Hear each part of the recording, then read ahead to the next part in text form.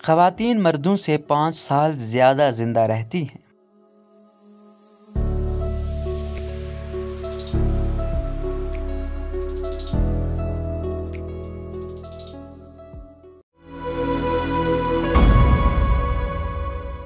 हर खातून को एक हैरत अंगेज़ खातून करार दिया जाए तो कुछ गलत ना होगा। ज़रूरी नहीं है कि हर खातून के अंदर बहुत ज़्यादा हैरत अंगेज़ सलाहियतें पाई जाती हूँ, लेकिन फिर चंद कुदरती ताकतें ऐसी ज़रूर हैं जो तमाम खवतिन में मौजूद होती हैं, जबकि मर्द इनसे महरूम होते हैं। इन ताकतों ने माहरीन को भी हैरान और परेशान कर दिया। जायका ज़्यादा अच्छे अंदाज में महसूस करती हैं। खवतिन में यह सलाहियत मौजूद होती है कि वो किसी चीज़ का जायका मर्दों के मुकाबले में ज़्यादा बेहतर अंदाज में महसूस कर सकती हैं। इसकी वजह यह है कि इसकी ज़बान पर जायका महसूस करने वाले हिस्से, फंगी फॉर्म अप्लाई ज़्यादा होते हैं। लड़कियों के दिल की सेहत बेहतर होती है। खातन में दिल की बीमारियों मर्दों के मुकाबले में कम ही पाई जाती हैं। इसकी वजह यह है कि खातन के जिसम में ऐसे हारमोन्स पाए जाते हैं जो दिल की हिफाजत करते हैं। खातन ज़्यादा जवान नज़र आती हैं। औसतन खातन मर्दों से कम उम्र नज़र आती हैं। इसकी वजह यह है कि मर्दों की जल्द खातन के मुकाबले में पच्चीस फ़ीसद ज़्यादा मोटी होती है, जिससे चेहरे की लकीरें और उम्र के निशाना दायर होने का ख़तरा होता है। खातन मर्दों से ज़्यादा ज़िंदगी पाती हैं। खातन मर्दों के मुकाबले में तकरीबन पाँच साल ज़्यादा ज़िंदा रहती है। माहरीन का ख्याल है कि इस हकीकत की वजह यह है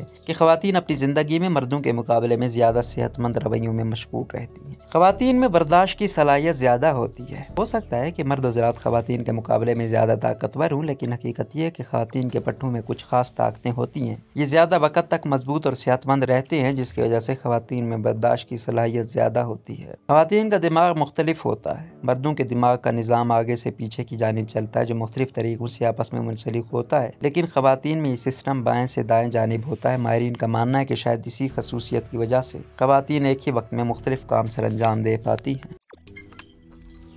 रोज़नामा कुदरत की वीडियो देखने के लिए अभी यूट्यूब चैनल पर सब्सक्राइब करें और बेल आइकन पर भी क्लिक करें।